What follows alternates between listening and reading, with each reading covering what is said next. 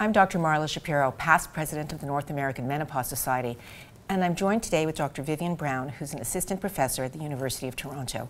So, we're going to talk about HPV. So, the vaccine's been out for a while. What do we know about the impact of the vaccine? Well, you know, it's very exciting because we now have more than 58 publications from all over the world showing that there's a reduction in precancerous changes in people that have been vaccinated. We also know that there's been a herd effect. And really, what we are seeing is we're seeing less dysplasia, less precancerous changes in the general population, particularly some US data that was really exciting. If we look at the difference between US and Canada and other countries, you know, what is the approval in terms of use? Yeah. Do they differ? So uh, it's a really good question. The vaccine is approved for ages 9 to 45, both in, the can in Canada and in the US.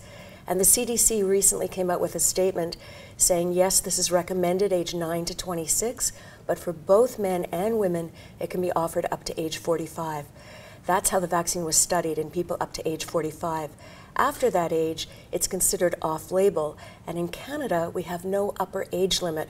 Our National Advisory Committee on Immunization suggests that it's a discussion between an individual and her primary care provider as to whether she still is at risk, because risk is associated with exposure and doesn't stop at any given age.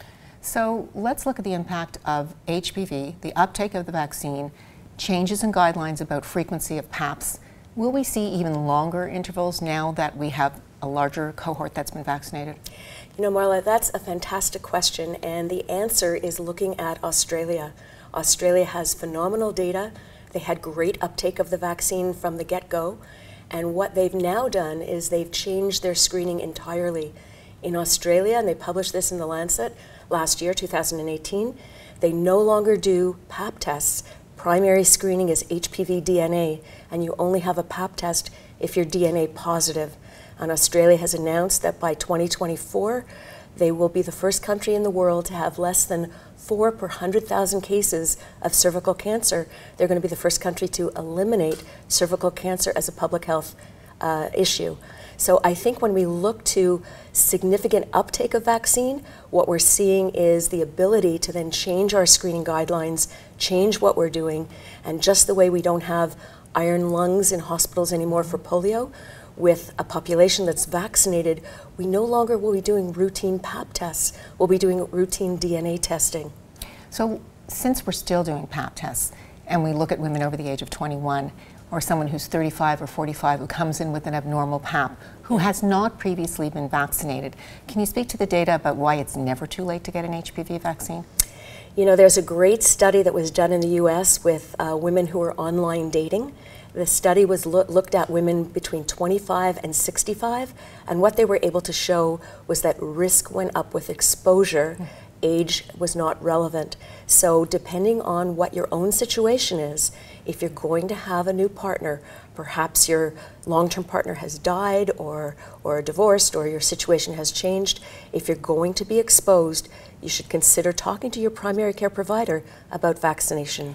But if you haven't been vaccinated and you come back with an abnormal PAP, is there any point in vaccinating now? Yeah, um, that's a great question, and there's been two studies, one in Italy and one in Korea, that looked at women after procedure for cervical dysplasia. They had CIN2 or 3 after LEEP procedures, and what they saw was a reduction of recurrence, so recurrence with the same subtype.